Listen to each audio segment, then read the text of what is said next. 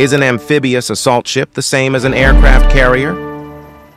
This question may leave some scratching their heads, while others, particularly military enthusiasts, might already be formulating their arguments. Today, we dive into the heart of this fascinating debate, comparing and contrasting these two naval titans, the amphibious assault ship and the aircraft carrier. First, it's essential to understand what each of these ships is and the roles they play within a naval fleet. An amphibious assault ship, often referred to as a big deck amphibious, is designed to launch and support ground forces in amphibious assaults. This means it carries a mix of helicopters, hovercraft landing craft, and marines. It's a floating base that brings the battle to the enemy's shores. On the other hand, an aircraft carrier is a warship that serves as a seagoing airbase. It's equipped with a full-length flight deck and facilities for carrying, arming, deploying, and recovering aircraft. The primary functions of an aircraft carrier are power projection, air superiority, and maintaining aerial blockade. Now, let's delve into the similarities between these two vessels. Both ships are among the largest in a naval fleet and are capable of carrying and launching aircraft.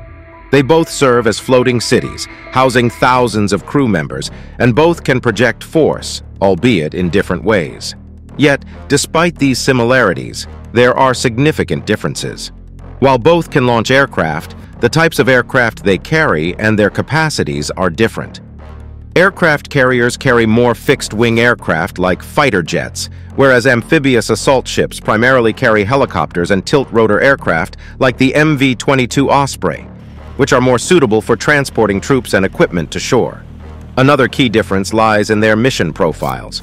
An aircraft carrier's primary mission is sea control and power projection achieved through air superiority and striking targets at long range. An amphibious assault ship, however, is designed for shore invasion and support of ground forces. Simply put, an amphibious assault ship is like a Swiss army knife. It's a multi-purpose tool capable of launching aircraft, landing troops, and providing command and control for large-scale operations. An aircraft carrier, on the other hand, is like a finely honed sword, designed for one purpose to dominate the skies and seas around it.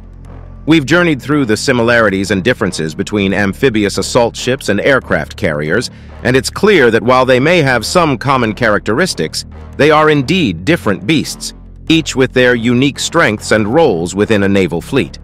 In conclusion, an amphibious assault ship is not the same as an aircraft carrier.